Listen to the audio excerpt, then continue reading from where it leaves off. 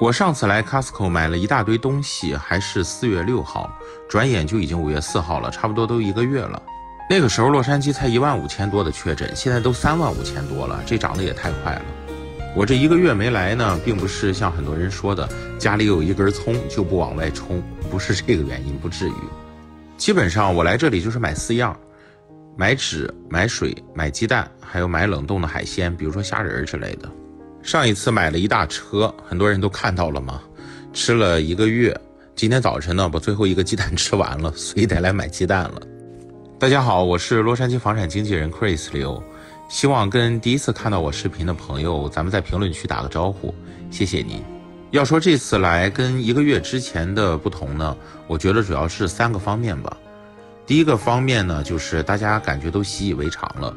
不管是来购物的客人，大大家都戴着口罩，或者超市的限流措施都变得更自然，没有手忙脚乱。